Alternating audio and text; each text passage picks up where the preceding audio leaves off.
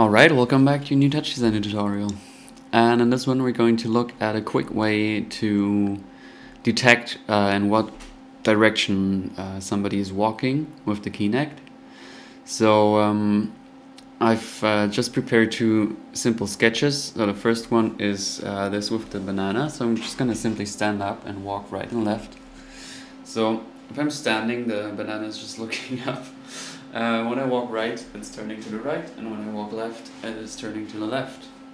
So now I'm standing, walking right, standing, walking left, and standing again. So now I'm sitting down, so it glitches a bit. And the other thing is uh, that we can just use a noise, and you know, you can always use noises for anything. So this could be, become a really cool sketch. So if I'm standing, nothing is really happening. But when I move to the right, move to the right as well. And the same if I go to the left. So we can sort of move through the noise by moving our body, which is fun, uh, for sure. All right, so as usual, I'm just going to delete everything. I'm just gonna leave the Kinect here. Um, so I just used the Kinect chop and I didn't really change anything here. We don't we don't really need to change anything. Uh, all we need to uh, use from this is the head. I, I would just use the head. Um, you can use any other uh, body part really, but I think the head just makes most sense.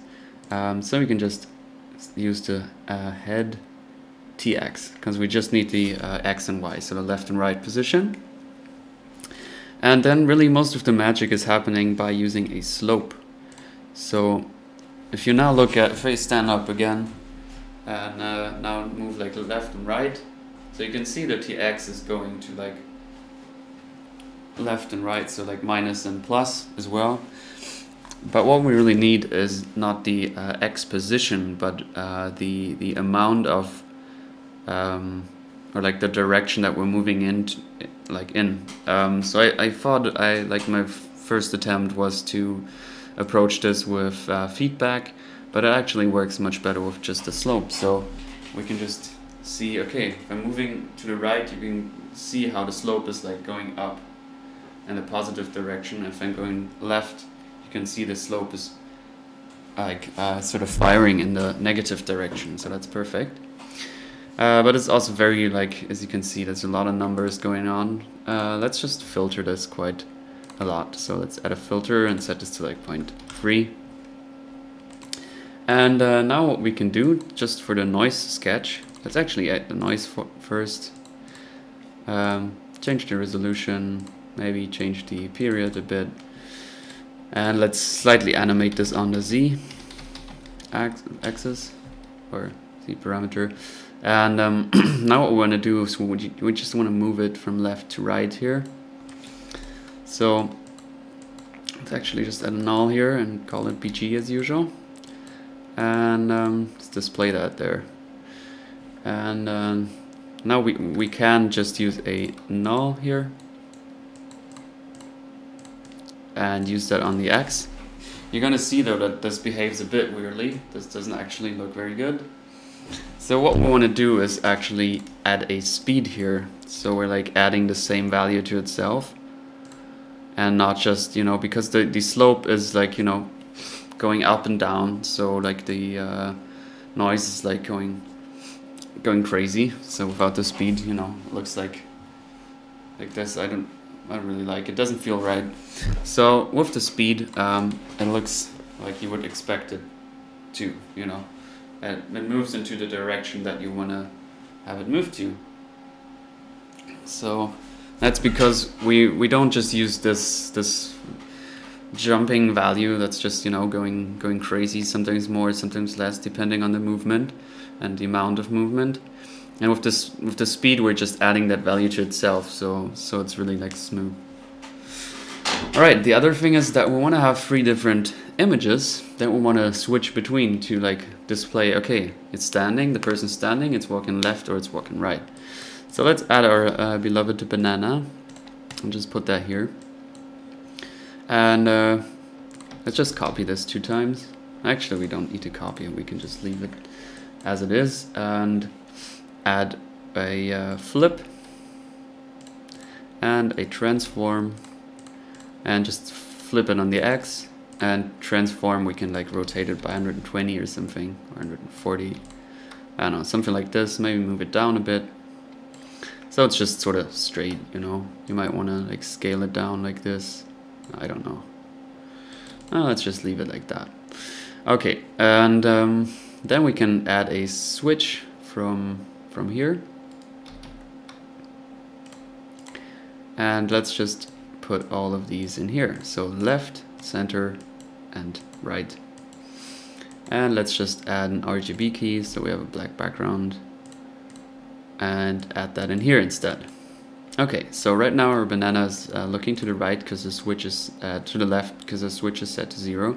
So now we can switch between them. So left center right. And now from the filter uh, we can create a uh, logic or like free logics.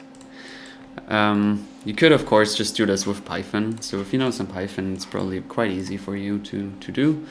But for those of you who don't, um, I'm just gonna do it with chops. So we can like uh, create this logic chop three times just to determine whether we're walking left, we're not walking at all, or walking to the right. So um, let's add a constant. So we can define a threshold. Let's make this, yeah, let's call this channel fresh and then add a null here and let's set this to 0.2 and on the logic now we want to determine I want to set all of these to off when outside bounds so if it if this channel is um, not inside like not not between this first value and the second value it's just going to be zero so what we want to do is set the first one to minus one and the threshold and minus threshold. So if it's if the value is um, like the the slope value that we're getting is outside of um, minus point, I might even want to go higher with this. So it doesn't really matter. It, what really matters is that it's like below minus point two, and um, here it's the same thing. Let's just add that in, into both of these. And um, the first one, let's set that to minus. So now when we're moving uh, inside this, these values, so minus 0.2 and 0.2, then uh, it's detecting basically that we are um, not moving in a way. So yeah, we're just standing. We're not like moving left or right. And uh, let's just go ahead. I don't know, change this to like 5 and uh, set that in here. So as you can see, left and right are both um, at zero right now, and that's perfect because our slope is also at zero, so it should be, the standing one should be on. And now we can just add a math, and uh, let's just copy and paste this and set that in here. Then we can add another math from here. And um, now we can just set this first math to the range of 0. Second one we can just leave as it is, and the third one to 2. So um, if this is uh, if this is firing in a way, so if this is like true, so if we're below minus 0.0, uh, minus 0.2, uh, then this is going to be 1, but we're just changing it to 0. And if this is um, between like if our slope value is between minus 0.2 and 0.2 this is gonna be 1 and um, if it's above 0.2 it's gonna be 2 so then we're just adding these together. And then we can just use them on the switch. So I can just use this. And because our value is 0 right now our uh, slope value um, we're actually uh, yeah, we're, we're actually looking at the center one. So the, the way, like the order here is very important. So now I'm gonna move, I'm gonna move right, and you can see the banana moves right as well. And when I go left, it's the same thing, so. Yeah, this works pretty nicely. Uh, you can you can play around with this threshold. Um, so this is just gonna like, yeah, kind of uh, determine how at what point uh, it, it thinks you're like standing or at what point it thinks you're like walking into one or the other direction. And uh, also play around with the filter, how much, how strong you want to have that. And um, yeah, I think that's that's about it. Of course, you can like go crazy with the with the noise. You can use any kind of image here. Uh, one idea I also had um, is that you could use like a movie file in, then a video, and then you could use like this channel to go to change this to specify index, and then you could use this um, value to like move uh, through a video, so like sort of back and forth. Just make sure that your uh, video codec is set to HapQ. But like, because the, the, going back part is kind of like uh, laggy, that's why I didn't share it here. All right, but uh, yeah, you can go crazy with this. Uh, most of the magic here is happening in the slope, so it's it's great to understand that chop. Um, so basically, just just uh, detects the acceleration or speed um, of of the incoming chop uh, channel value or channel. All right. Thanks so much for watching. And uh, if you want to see more cool stuff, you can go to my Patreon and um, support me there.